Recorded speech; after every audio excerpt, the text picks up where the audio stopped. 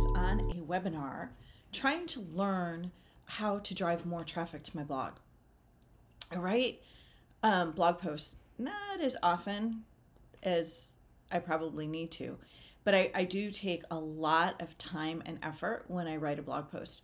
One post can take me six, eight, maybe even 12 hours to write because I find the, the photographs that will support the story and the videos, and then I have to edit the videos, add music, add uh, sometimes an over a voiceover, upload those to YouTube, embed them into the the blog post, and then also go through the pictures, find the ones that that illustrate the story the best, edit them, export them, import them. So it can take me quite a long time and I, I don't have a lot of people reading my blog posts and, and my blog posts are about obviously what I'm about um, different animal behavior traveling to different wildlife rich places around the world. Um, some of them are just stories of the individual animals that I meet. Others are more um, how do you say it? Uh, like we went here we did this we saw that um, step by step, almost procedural. That's really, um, I don't normally write in that style, but my Galapagos and Ecuador posts were in that style because we went to so many different islands. So it was like we went to this island. This is all the things that we saw on this island, and um, it was full of photographs and and and videos. So it takes me a really long time to make these posts and, and i actually love doing it because i get to relive everything and then i get to use my photographs um, but i would love for more people to see them and more people to read them. So i was on a webinar last night about how do you drive more traffic to your blog? And actually the webinar was all about making money with your blog which sure that would be nice. I would love to bring in an income but that isn't my ultimate goal. My ultimate goal is to raise empathy and awareness. But I can't do that if people aren't coming. So I, I have an issue, and I've, I've always kind of stepped away from these types of programs, courses, how to learn it, because they're all about writing based on keyword research. Now, in one way, that makes sense because this is what people are looking for. But in another way, I want to share the things that I understand and know about and can really add value to. So I, I get stuck, and this is the business part of the business that I don't know.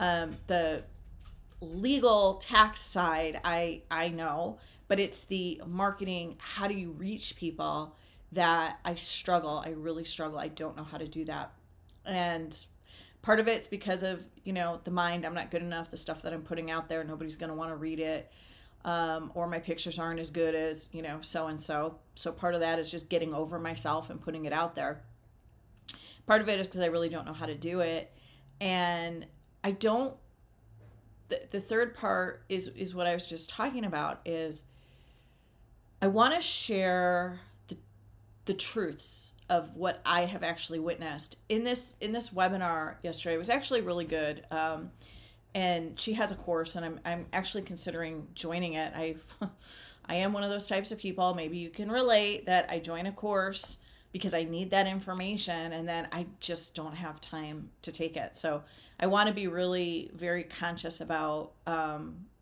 if this can can really help me bring my mission forward.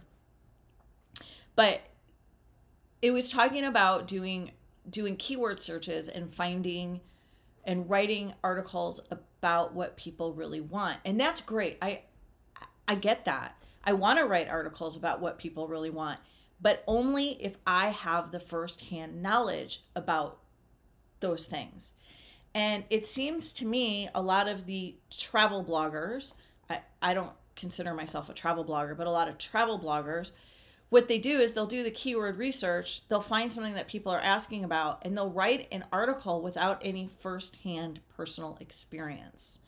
And that is something I absolutely do not want to do. I want to write articles that are about things that I know because I've experienced it or I've been there.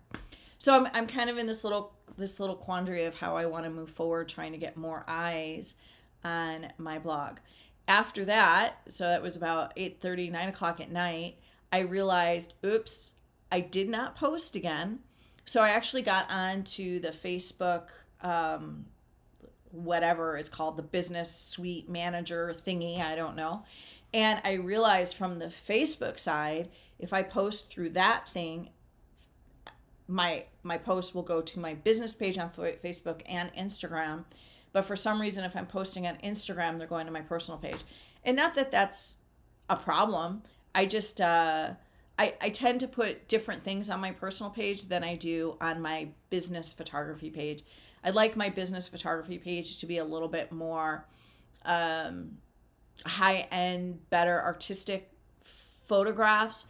And then on my personal page, I tend to put more, um, whether they're a technically good photograph or not, it's more of like a cute or something that really meant a lot to me, the stories and, and things like that. So I did get my post done. And now we're heading into the weekend. I am not going to do a vlog on Saturday and Sunday. I'm actually going to go spend some time with my mom um, and get a massage. So I'm looking forward to that. And I will be back on Monday. Thank you so much for stopping by. Oh, and I just got to do a shout out. I got my, I can't see the camera, I've got my Tsavo Trust for Elephants t shirt on today. Um, I don't think they make these t shirts anymore. I bought this shirt probably about seven or eight years ago. Um, they're protecting the big tuskers, they're protecting elephants. Um, which elephants really need a lot of protection right now, especially in that area. Tsavo and Amboseli, um, and even up north in Samburu, they're in the middle of a massive, oh, and I lost my necklace, in a massive, massive drought uh, right now. And the elephants are um, breaking into croplands, farmlands to steal crops and to try and find water. It's really sad. Um, I have a blog post about my trip to Amboseli in no when was I there? Earlier this year, and then I just went. It was November, so it was last year in November, and then I just was back in um, January. And from what I understand, they've had a little bit of rain, but not near enough to help uh, get over the drought. So it's been really, really bad over there right now. There's so much human wildlife conflict going on, and um, it's it's sad and it's, it's nonprofits like Tsavo Trust for Elephants, Big Life Foundation, Amboseli Trust for Elephants. There's one in Samburu, and I'm I'm drawing a blank. That's a really good one too. Oh, Save the Elephants in Samburu.